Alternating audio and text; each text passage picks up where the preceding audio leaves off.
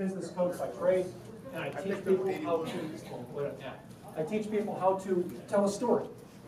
Tell a story from the story, I teach from the story. So I would give you teachable content, some points of interest to help that story work into your life or business. And then the most important part of those three things I've learned to do on video was give a call to action.